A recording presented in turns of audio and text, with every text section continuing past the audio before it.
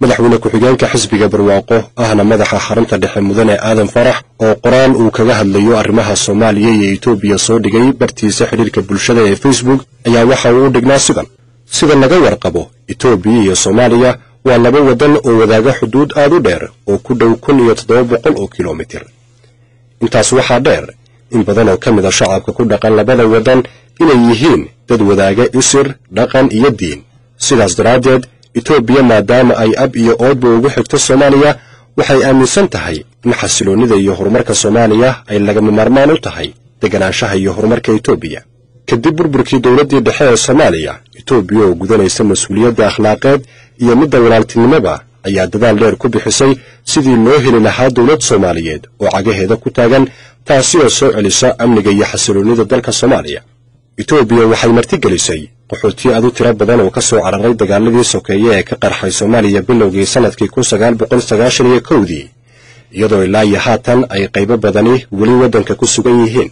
Dowladda etoobiya waxay qabatay kulamo badan oo ay isugu keentay kuna heshiisiinaysay hogaamiye ku-xeedyadii garwadeenka ka ahaa kooxihii ku dagaalamayay gudaha soomaaliya.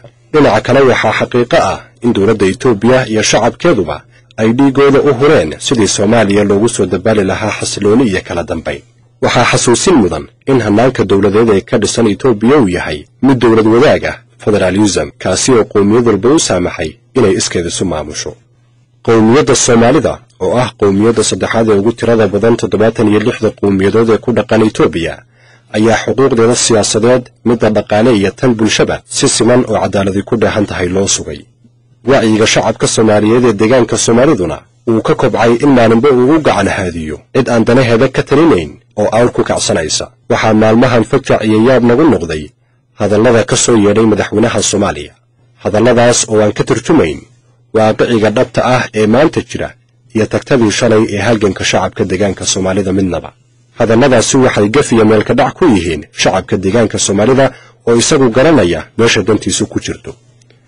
Waxay hadalladaasi foolxumo ku yihiin shacabka dalka soomaaliya ee aan walaalaha nahay waana mid dhaawacaysa wada noolaanshaha iyo daris wanaagga shucuubta geeska afrika oo ay soomaalidu qayb muhiim ah ka tahay.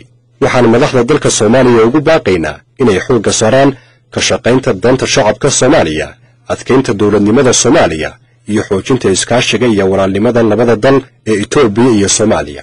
In dheergaradka aqoon-yahanka siyaasiyiinta iyo shacabka soomaaliyeed waxaan iyagana ugu baaqaynaa inay doorkooda ka qaataan la halganka afkaarta guracan ee kala fogeynaysa bulshada walaalaha ah ee geeska.